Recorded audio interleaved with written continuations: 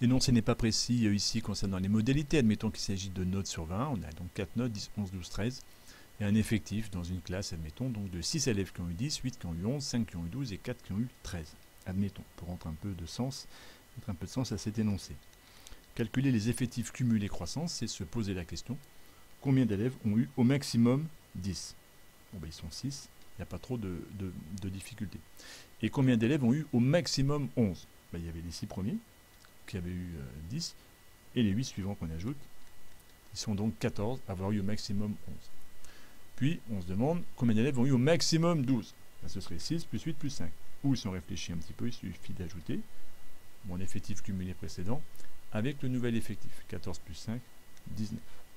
Et enfin, combien d'élèves ont eu au maximum 13 Eh bien 19 plus 4, 23.